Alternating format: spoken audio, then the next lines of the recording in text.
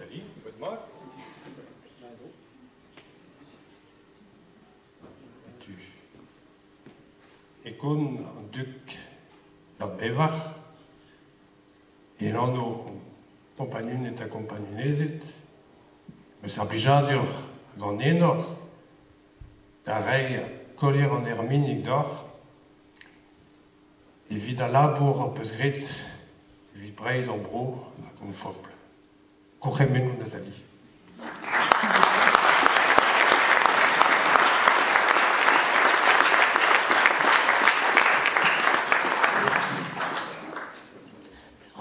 Je suis très émue au, au reportage.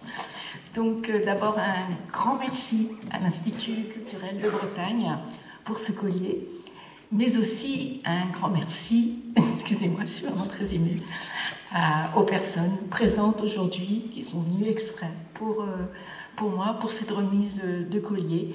Euh, ces personnes m'ont aidé, m'ont soutenu, m'ont motivé, m'ont enseigné et euh, j'ai vraiment envie aussi de partager mon collier avec ces personnes qui sûrement se reconnaîtront. Le collier de l'Hermine distingue les personnes ayant œuvré pour la Bretagne, son identité et sa culture. Ça commence mal pour moi, je ne parle ni ne comprends le breton. Je m'en excuse, mais je peux vous assurer que j'ai une réelle admiration pour tous ces militants de la langue bretonne. Et bref, il va falloir que je m'y mette.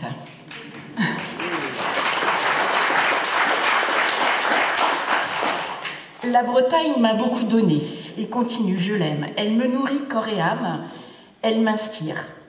Par reconnaissance, je ne peux que la respecter et grâce à mon métier, à ma passion, la mettre en valeur. À travers ma façon de cuisiner, dans mes ouvrages comme au restaurant. Ma cuisine a du sens que par la mise en valeur des bons produits bretons, du sol et de la mer, mais tout en, m'inspirant de son histoire culinaire. Et à ce sujet, je tiens à remercier une personne que je n'ai jamais rencontrée, mais que j'ai appris à connaître à travers ses ouvrages. Cette personne est Simone Morand. Elle est née en 2001. Elle était à la fois euh, historienne, euh, musicienne, ethnologue, écrivaine et collecteuse de recettes de cuisine traditionnelle, notamment bretonne. Et donc mon inspiration est venue aussi en parcourant ses ouvrages. Puis grâce à mon métier, à la Bretagne, vous avez vu à travers la petite vidéo, j'ai voyagé pour partager nos traditions, nos parfums, nos goûts. Pas toujours simple quand on est loin de son rocher, mais quel enrichissement humain et quelle fierté.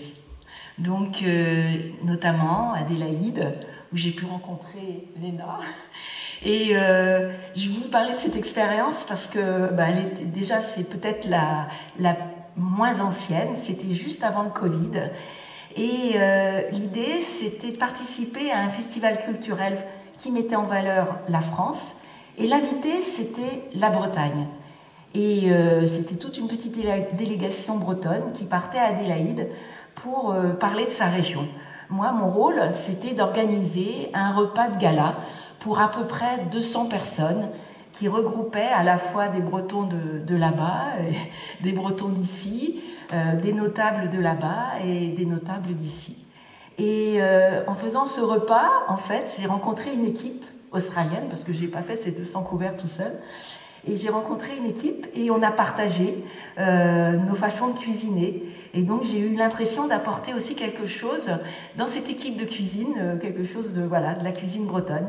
Et puis le repas a lieu et à la fin du repas, j'ai eu l'impression, j'espère que Léna est d'accord avec moi, mais que voilà les gens étaient heureux et avaient eu dans leur assiette euh, voilà un petit peu de la Bretagne. Et donc le voyage, pour ça, c'est assez extraordinaire.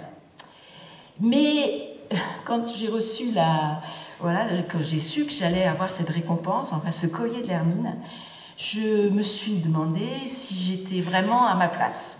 Alors j'ai fait ma petite enquête sur Internet pour voir aussi si euh, il y avait déjà eu des nominés qui étaient passionnés par la cuisine, qui avaient écrit des ouvrages sur la cuisine.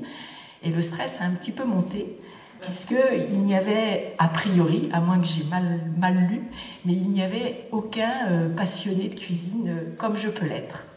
Alors je me suis dit, mince, je vais peut-être, euh, je ne suis pas, voilà, je ne suis pas une littéraire, et je me suis dit, je vais aller dans le dictionnaire et je vais regarder la définition de la culture. Je suis allée sur Internet, et donc en fait, je me suis inspirée, enfin je vais vous dire la définition de la culture donnée par l'UNESCO. La culture, dans son sens le plus large, est considérée comme l'ensemble des traits distinctifs, spirituels et matériels, intellectuels et affectifs, qui caractérisent une société ou un groupe social.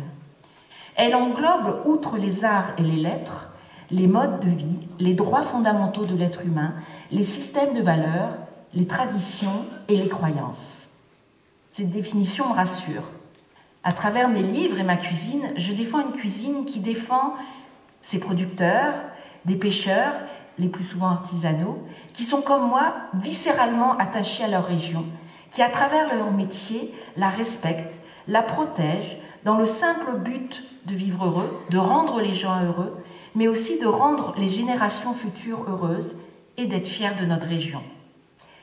Et enfin, pour conclure, Là, je vais un petit peu m'écarter peut-être euh, du collier de l'hermine et encore.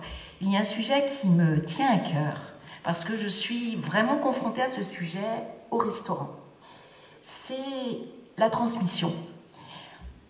À peu près depuis trois ans, vous voyez, je suis très émue, à peu près depuis trois ans, on ne, on a presque plus, on ne reçoit plus de jeunes, on va dire de nationalité française, qui veulent apprendre notre métier, qui veulent travailler dans notre métier. Par contre, depuis à peu près trois ans, j'ai énormément de jeunes qui arrivent d'horizons lointains, des jeunes migrants, souvent euh, venus d'une migration économique, qui ne demandent qu'une seule chose, c'est de se faire intégrer dans notre région, d'apprendre un métier et d'être heureux. Et donc aujourd'hui, ben voilà, je voulais avoir vraiment une pensée pour eux, parce que je pense que la Bretagne peut apprendre beaucoup de ces gens-là, et puis surtout peut leur donner beaucoup, et surtout en gardant aussi bien sûr notre identité, notre culture, mais je pense que c'est peut-être un moment important pour essayer de la partager et d'intégrer ces gens dans notre culture, dans notre identité.